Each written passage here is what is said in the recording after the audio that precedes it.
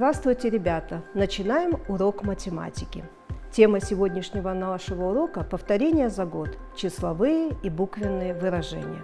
Цель нашего урока – закрепить умение составлять, читать, записывать числовые и буквенные выражения, развивать математическую логику, находить значение выражения при различных значениях переменной. Начинаем мы опять решать, отгадывать, считать, Ум и сердце в работу вложи, каждой секундой в труде дорожи. Начинаем наш урок, и для начала нашего урока вам необходимо будет приготовить листочек и ручку. Итак, математическая разминка. Ребята, посмотрите, пожалуйста, на числовые выражения и найдите значение выражения. Итак, приготовились? Начинаем. Найдите разность двух чисел 48 и 2. Найдите разность двух чисел 100 и 90. Продолжаем. Записываем только ответы. Готовы? Проверяем. 46, 10, 4, 50, 5, 70. Правильно, вы прекрасно справились с работой. Молодцы. Следующее задание – прочитай, подумай и выбери правильное решение. Нам дана задача. В вазе было 5 красных яблок, а желтых на 2 яблока больше. Сколько всего яблок было в вазе? Найдите верное решение. Подумайте. Да, правильно, ваш выбор правильный, вы нашли верное решение. Вы уже встречались с такими понятиями, как выражения, числовые и буквенные выражения. Сегодня, решая выражения и задачи, мы также столкнулись с этими понятиями. Но о каждом понятии будем по порядочку. Решите задачу. В одном альбоме у Саши было 8 марок, в другом 7 марок. Ему подарили еще 8 марок – сколько марок стало у Саши. Подумайте и скажите, какая это задача, простая или составная? Да, эта задача непростая, так как мы не можем ответить сразу на вопрос этой задачи. Мы же знаем, что задача состоит из краткой записи, решения и вопроса. Вот теперь мы, прежде чем ответить на этот вопрос, мы должны выполнить первое действие. Мы должны узнать, сколько марок в двух альбомах. А потом только мы можем ответить на вопрос, сколько марок у Саши. Проверьте решение. Правильно, молодцы. А теперь скажите, как еще можно решить эту задачу? Можно ли эту задачу решить с помощью выражения? Подумайте. Да, ребята, эту задачу можно решить с помощью выражения. Молодцы, у вас все хорошо получается. И сейчас мы вспомнили о числовых выражениях. Числовые выражения. Числовое выражение – это запись, состоящая из чисел, арифметических действий и скобок. То есть это сумма двух чисел 5 и 67, произведению двух чисел 2 и 3 прибавить 4 из 34 вычесть 23 и 7. А теперь вместе давайте посмотрим внимательно на таблицу. Чтобы решить числовое выражение, надо найти его значение выражения. Нам дано числовое выражение сумма двух чисел 12 и 7. Вычисляя, мы находим его значение выражения. Следующее выражение дано разность двух чисел 34 и 30. Вычисляя его, мы находим значение данного выражения. Немаловажно уметь читать числовые выражения. Сумма двух чисел 12 и 9. Разность двух чисел 49 и 20. Из числа 34 вычесть сумму 8 и 21.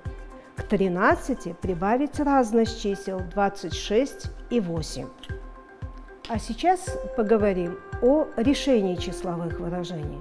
Чтобы решить числовое выражение, нам необходимо выполнить действия в скобочках. Итак, найти сумму двух чисел 30 и 2. Сумма двух чисел 32 равна 32. Теперь нужно из 45 вычесть 32 равно 13. Итак, значение числового выражения равно 13. Чтобы сравнить числовое выражение, надо найти значение каждого из выражений. Давай сравним значения двух выражений. Разность чисел 14,6 и разность чисел 18,9. Для этого найдем значение каждого из них. Разность чисел 14,6 равна 8, разность чисел 18,9 равна 9 то есть 8 меньше 9. Значит, разность чисел 14 и 6 меньше разности чисел 18 и 9. Сейчас мы вспомнили, что такое числовые выражения.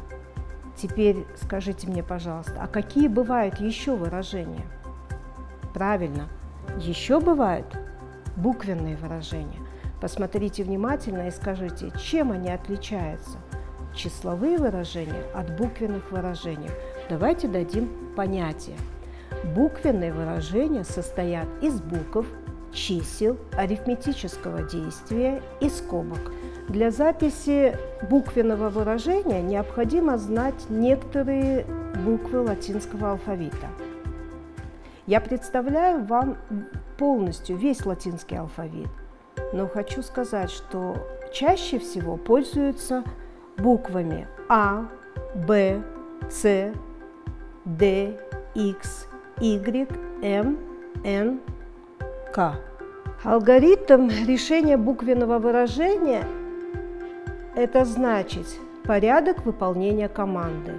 То есть мы должны прочитать буквенное выражение, записать буквенное выражение, подставить значение неизвестного выражения и вычислить результат. Например, разность чисел 28 и c. Или из 28 вычесть c. Подставим вместо неизвестного c число 4. Найдем значение выражения.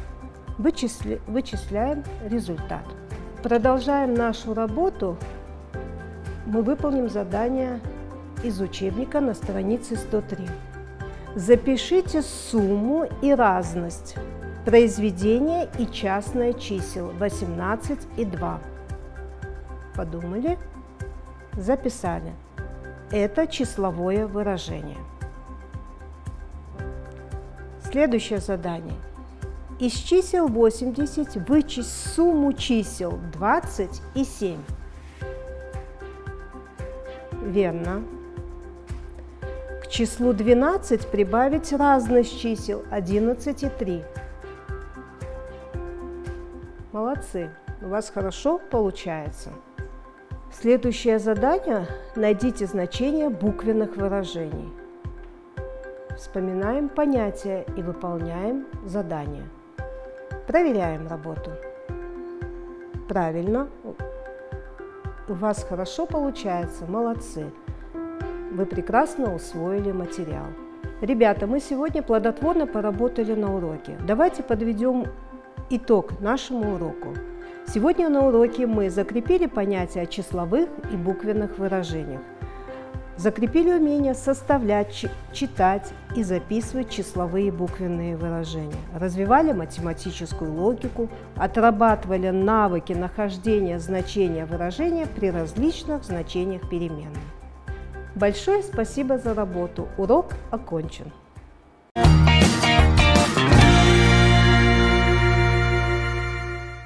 Здравствуйте, ребята! Мы начинаем урок русского языка. Тема сегодняшнего урока – местоимение, его значение и употребление его в речи. Сегодня на уроке мы ответим на вопросы, для чего нам нужны местоимения, какова роль местоимений в предложении. А для того, чтобы начать новый урок, давайте повторим то, что мы с вами узнали о местоимении. Мы помним, что местоимение становится вместо имени существительное, поэтому и образовалась новая часть речи местоимение. Местоимение мы используем как часть речи, поэтому она является частью речи, которая указывает на предметы, но не называет их. Давайте с вами узнаем, на что указывают наши местоимения. Местоимение «я», «мы» указывают на говорящего. Местоимение «ты», «вы» указывают на того, кому говорят или к кому обращаются.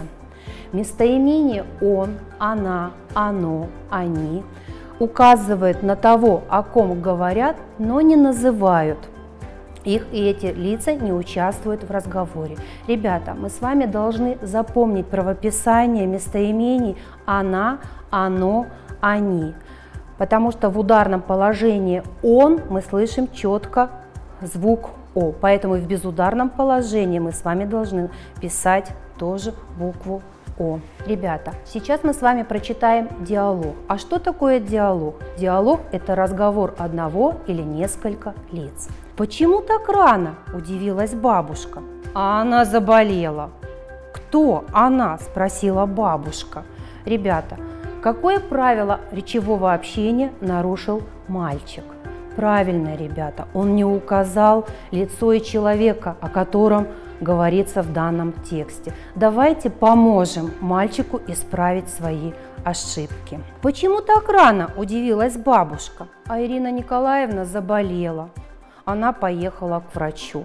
Во втором случае мы видим, мальчик указал, мы можем предположить, имя и отчество учительницы, ее зовут Ирина Николаевна, и уже потом мы заменили Ирину Николаевну местоимением «она». Мы исправили ошибки, мы молодцы, ребята. Какой вывод мы можем с вами сделать? Что местоимения заменяют имена существительные, чтобы не было повторов, а текст был более красивым и правильным. Самое главное, ребята, нам нужно сначала назвать предмет или человека, о котором мы будем говорить, а уже потом заменять его местоимением. Что мы, ребята, видим на рисунке? Девочка моет посуду. Она помогает маме. Давайте выделим главные члены предложения в этих двух предложениях. И я думаю, вы справились так же, как и я. О ком идет речь в первом предложении? О девочке. Кто? Она. Девочка. Это подлежащее. Подчеркиваем одной чертой. Девочка что делает? Моет. Это сказуемое подчеркиваем двумя чертами. Во втором предложении местоимение «она» заменила имя существительное «девочка». То есть речь пойдет о девочке. Ставим вопрос «кто?» Она – это подлежащее, подчеркиваем одной чертой. Она что делает? Помогает. Это сказуемое, подчеркиваем двумя чертами. Ребята, какой вывод мы можем сделать из вышесказанного? Что местоимение выступает главным членом предложения, то есть подлежащим, и отвечает на такие же вопросы, как имя существительное «кто», «что». А сейчас откройте, пожалуйста, учебники на странице 104. Мы выполним с вами упражнение 178. Что нам нужно сделать в этом упражнении? Нам нужно прочитать. Солнышко выплыло из-за тучи, солнышко обогрело землю. На крышу сел воробей, воробей звонко зачирикал. Прилетела воробьиха, воробьиха расправила свои перышки и тоже зачирикала. Рады солнышку птицы, птицы стали весело щебетать. Как мы видим, в этих парах предложений повторяется одно и то же слово. Выскажите мнение, что нужно сделать, чтобы не было повторов одного и того же имени существительное в каждой паре предложений. И как мы уже с вами знаем, чтобы не было повторов, мы одно из слов заменяем другим словом. Давайте с вами выполним это упражнение. И мы сделали так с вами. Солнышко выплыло из-за тучи, оно обогрело землю. В первом случае мы с вами э, слово «солнышко» заменили местоимением «оно». И мы с вами должны помнить, что не только местоимением мы можем заменять слова. Мы также можем заменить слово синонимом. Что такое синонимы? Это слова, близкие по значению. Давайте проверим, что у нас получилось.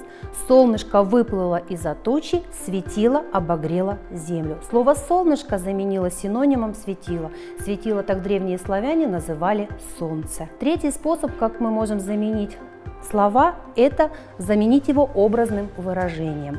Солнышко выплыло из-за тучи, небесное светило обогрело землю. Слово «солнышко» мы заменили небесным светилом. Ребята, домашним заданием вам будет повторить правила на странице 101 и выполнить упражнение 179 на странице 104. И наш урок хотелось бы закончить стихотворением.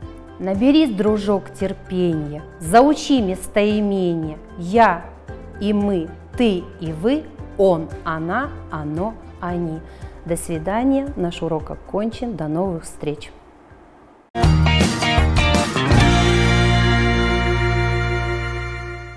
Здравствуйте, дорогие ребята! Солнце радостно проснулось, осторожно потянулось, лучиком пора вставать и урок наш начинать. Начинаем урок литературного чтения. Послушайте и попробуйте объяснить смысл слов. Тайное становится явным. Что же такое тайна? Это то, что скрывают от других, что не всем известно. А что значит явное? Нескрываемый, открытый, известный. Сегодня мы будем читать произведение с таким названием. А кто же его автор? Виктор Юзефович Драгунский – Каким человеком был Виктор Драгунский? Послушайте рассказ о его жизни. Виктор Драгунский родился 17 ноября 1913 года в Америке, где его родители получали образование. После рождения сына возвратились в Россию. Рано потеряв отца, с 16 лет начинал самостоятельную жизнь. Работал актером кино и театра, был цирковым клоуном – написал несколько повестей, много юмористических рассказов. Когда у Виктора Драгунского родился сын, Денис, с ним начали случаться всякие смешные истории. Драгунский стал эти истории записывать, и получились Денискины рассказы. Это веселые жизнерадостные рассказы о городских мальчишках, Дениске и его друзьях – Примером главного героя этих рассказов был сын Драгунского, Дениска, а в образе папы легко узнать самого писателя. Особенно любил Виктор Драгунский выступать перед детьми. Для него не было большего наслаждения, чем следить за маленькими зрителями. Из сборника «Денискины рассказы» в нашем учебнике поместили рассказ с необычным названием. Давайте прочитаем это название. «Тайное становится явным». О чем может идти речь в этом произведении, судя по названию? Давайте проверим ваши предположения и познакомимся с текстом. Но прежде чем прочитаем рассказ, давайте разберем некоторые выражения, которые встретятся в этом произведении. Московский Кремль, древнейшая часть Москвы, постройка Кремля обнесены высокой каменной стеной. Может, вы что-то слышали о Грановитой палате – это историческое двухэтажное здание на территории Кремля. Стена облицована граненым белым камнем, отсюда и название «Грановитая». Царь-пушка отлита как памятник, из нее не было сделано ни единого выстрела. Русский царь Иван Грозный. Грозным его назвали за его жестокий нрав, характер. А сейчас мы с вами прочитаем рассказ «Тайное становится явным» и проверим, сбылись ли ваши предположения. Я услышал, как мама сказала кому-то в коридоре, «Тайное всегда становится явным». И когда она вошла в комнату, я спросил, «Что это значит, мама? Тайное становится явным?» А это значит, что если кто-то поступает нечестно, все равно про него узнают, и будет ему стыдно, и он понесет наказание, сказала мама. Понял? Ложись-ка спать. Я почистил зубы, лег спать но не спал, а все время думал, как же так получается, что тайное становится явным. И я долго не спал, а когда проснулся, было утро, папа уже был на работе, и мы с мамой были одни. Я опять почистил зубы и стал завтракать. «Ребята, что однажды услышал Денис от мамы?» «Правильно, тайное становится явным. Сначала я съел яйцо, это еще терпимо, потому что я выел один желток, а белок раскромсал со скорлупой так, чтобы его не было видно. Но потом мама принесла целую тарелку манной каши. «Ешь», — сказала мама, безо всяких разговоров. Я сказал, видеть не могу манную кашу. Но мама закричала, посмотри, на кого ты стал похож, вылитый Кощей, ешь, ты должен поправиться. Я сказал, я ее давлюсь. Тогда мама села со мной рядом, обняла меня за плечи и ласково спросила, хочешь, пойдем с тобой в Кремль? Ну еще бы! Я не знаю ничего красивее Кремля. Я там был в грановитой палате и в оружейной, стоял возле царь-пушки и знаю, где сидел Иван Грозный. И еще там очень много интересного. Поэтому я быстро ответил маме, «Конечно, хочу в Кремль, даже очень!» Тогда мама улыбнулась. «Ну вот, съешь всю кашу и пойдем, а я пока посуду вымою. Только помни, ты должен съесть все до дна». И мама ушла на кухню. Ребята, что может произойти дальше? Подумайте. А я остался с кашей наедине. Я пошлепал ее ложкой, потом посолил, попробовал, но невозможно есть. Тогда я подумал, что, может быть, сахару не хватает. Посыпал песку, попробовал. Еще хуже стало. Я не люблю кашу, я же говорю. Она к тому же была очень густая. Если бы она была жидкая, тогда другое дело. Я бы зажмурился и выпил ее. Тут я взял и долил в кашу кипятку. Все равно было скользко, липко и противно. Главное, когда я глотаю, у меня горло само сжимается и выталкивает эту кашу обратно. Ужасно обидно, ведь в Кремль-то хочется. И тут я вспомнил, что у нас есть хрен – с хреном, кажется, почти все можно съесть. Я взял и вылил в кашу всю баночку, а когда немножко попробовал, у меня сразу глаза на лоб полезли и остановилось дыхание. И я, наверное, потерял сознание, потому что взял тарелку, быстро подбежал к окну и выплеснул кашу на улицу. Потом сразу вернулся и сел за стол. Ребята, как вы думаете, чем закончится рассказ? Слушаем дальше. В это время вошла мама. Она посмотрела на тарелку и обрадовалась. Ну что за Дениска, что за парень молодец, съел всю кашу до дна. Ну, вставай, одевайся, рабочий народ, идем на прогулку в Кремль. И она меня поцеловала. Ту же минуту дверь открылась, и в комнату вошел милиционер. Он сказал «Здравствуйте!» и подошел к окну, поглядел вниз – а еще интеллигентный человек. «Что вам нужно?» – спросила мама. «Как не стыдно!» Милиционер даже стал по стойке смирно. «Государство предоставляет вам новое жилье со всеми удобствами и, между прочим, с мусоропроводом, а вы выливаете разную гадость в окно. Не клевещите, ничего я не выливаю. «Ах, не выливаете?» – язвительно рассмеялся милиционер и, открыв дверь в коридор, крикнул «Пострадавший!» И к нам вошел какой-то дяденька. Я как на него взглянул, так сразу понял, что в Кремль я не пойду. На голове у этого дяденьки была шляпа, а на шляпе наша каша – она лежала почти в середине шляпы, в ямочке, и немножко по краям, где лента, и немножко за воротником, и на плечах, и на левой брючине. Он как вошел, сразу стал заикаться. Главное, я иду фотографироваться, и вдруг такая история. Каша, манная, горячая, между прочим, сквозь шляпу и то жжет. Как же я пошлю свое фото, когда я весь в каше? Тут мама посмотрела на меня, и глаза у нее стали зеленые, как крыжовник. А уж это верная примета, что мама ужасно рассердилась. «Извините, пожалуйста», — сказала она тихо. «Разрешите я вас почищу? Пройдите сюда». И они все трое вышли в коридор. А когда мама вернулась, мне даже страшно было на нее взглянуть. Но я себя пересилил, подошел к ней и сказал, «Да, мама, ты вчера сказала правильно. Тайное всегда становится явным». Мама посмотрела мне в глаза, она смотрела долго-долго и потом спросила, «Ты это запомнил на всю жизнь?» И я ответил, «Да, ребята, Понял ли Денис смысл слов? Тайное становится явным, без маминого объяснения. Я думаю, конечно же, да. Сейчас давайте проверим, внимательно ли вы прослушали рассказ.